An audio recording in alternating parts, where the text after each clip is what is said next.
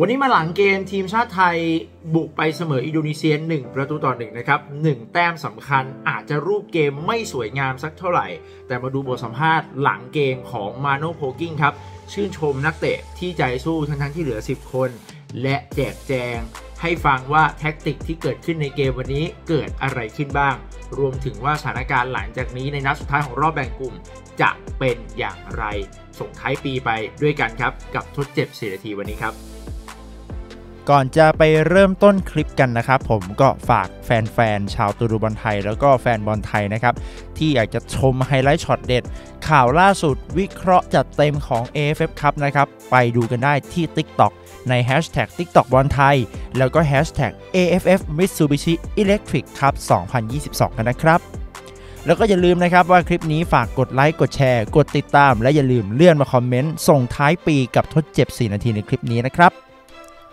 ไปเริ่มกันที่หลังเกมทีมชาติไทย 10 คนบุกเสมอทีมชาติอินโดนีเซีย 1-1 กันก่อนนะครับ หลังเกมมาโน่ โพลกิ้งครับเฮดโค้ชของไทยก็ออกมาชื่นชมนักเตะทุกคนนะครับในเกมวันนี้ว่า สู้กันเหลือเกิน แล้วก็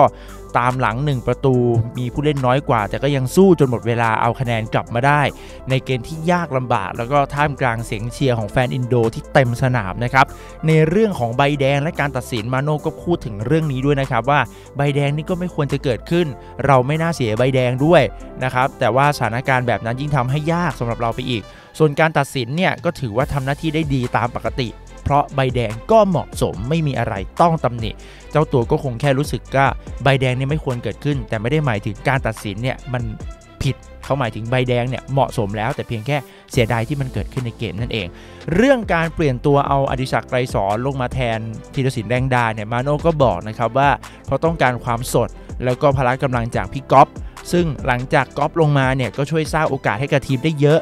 นอกจากนั้นก็ยังมีการวิ่งหาช่องได้หลายครั้งตามที่วางแผนเอาไว้ โดยประตูตีเสมอที่ทำได้เนี่ยมาโน่ก็ให้เครดิตในการวิ่งหาช่องของอดิศักด้วยนะครับ ส่วนเรื่องการจัดแผนแล้วก็ระบบในเกมนี้ที่ดูมึนๆ งงๆ ในหลายตำแหน่งเนี่ยมาโน่ชี้แจงว่าตนเองมีแผนอยู่แล้ว ที่จะใช้เอกนิตเป็นหน้าต่ำ แล้วก็ให้ชานรงค์พรมสีแก้วเป็นปีกขวา เพื่อให้กองกลางเพิ่มเข้ามาอีกคนหนึ่งในการสู้เกมแดนกลาง แต่เรื่องการจับชานลงมาเล่นปีกขวา แต่ให้หุบเข้าไปทำเกมกลางสนามเนี่ยอันนี้ไม่รู้ว่าเพื่อนๆคนไหนคิดเหมือนกันหรือเปล่านะครับมันกลายเป็นจุดที่ทำให้เกมรุกของเราดูติดขัด แล้วก็หายไปจากสิ่งที่เคยเป็นจุดเด่นในเกมที่ผ่านๆมา เพราะว่าการที่ให้เจ้าหนึ่งเนี่ยเล่นปีกขวาวิ่งตัดเข้าไปข้างในเป็นกองกลางเนี่ยทำให้ทับตำแหน่งกับเอกนิตที่เล่นเป็นเพลย์เม k เกอร์แล้วบุ๊กเองก็ไม่มีคนที่จะต้องคอยแทงทะลุช่องให้นั่นเองนะครับ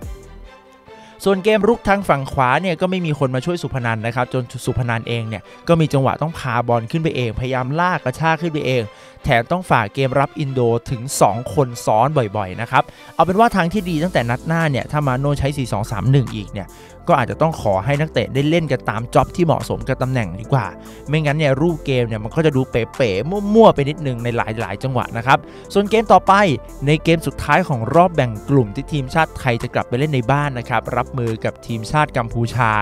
ในวันที่ 2 มกราคมหลังปีใหม่ ถึงแม้ว่าจากตารางคะแนนเนี่ยทีมชาติกัมพูชาจะยังตามหลังเรา 1 คะแนนนะครับ หากไทยจบด้วยผลเสมอก็เข้ารอบได้ แต่ด้วยการที่เราอาจจะต้องพักแข้งตัวหลัก โดยเฉพาะนักเตะ senior บ้างเนี่ยหลังจากหลายต่อหลายคอมเมนต์เริ่มเห็นตรงกันว่าเห็นอาการล้าจนส่งผลต่อฟอร์มการเล่นในเกมที่เจออินโดนะครับก็บอกเลยว่าเกมเนี้ยผมเชื่อว่า 2 จิต 2 ใจเหมือนกัน เพราะสไตล์การเล่นของกัมพูชาในยุคของเคสุเกะฮอนดะเนี่ยเน้นใช้นักเตะอายุน้อยนะครับคอยวิ่งเพลสไม่มีหมด ก็น่าจะเป็นของแสลงทีมชาติไทย ที่เป็นสไตล์ครองบอลไม่ใช่น้อย ฉะนั้นนัดนี้เนี่ยหากคิดจะเล่น เกมแบบครองบอลเอาแค่ผลเสมอเนี่ยดูแล้วไม่ใช่เรื่องดีครับ ยิ่งถ้าดูจากผลงานช่วงหลังของทีมชาติไทยทุกรุ่นเนี่ยในนัดสุดท้ายรอบแบ่งกลุ่มเนี่ยที่เราต้องต้องตกรอบเนี่ยเพราะคำว่าแค่เสมอเข้ารอบเนี่ยนะครับการที่จะเสี่ยงโรเตชันยกชุดทำอะไรแปลกๆเนี่ยดูเป็นช้อยที่จะเป็นฝันร้ายของทีมชาติไทยเหมือนกัน มากไปกว่านั้นเนี่ยการเสมอเพื่อหวัง 1 คะแนนเนี่ยมันไม่การันตีต่อการที่จะเป็นแชมป์กลุ่มนะ การันแน่นอนว่าเสมอในการันตีในการเข้ารอบนะครับ แต่ไม่ได้การันตีในการเป็นแชมป์กลุ่ม ถามว่าการเป็นแชมป์กลุ่มก็ย่อมดีกว่านะฮะ การที่ได้เจอทีมอันดับ 2 ของอีกกลุ่มหนึ่งบวกกับได้เปรียบเรื่องของการเล่นในบ้านในนัดที่ 2 ของรอบรองชนะเลิศ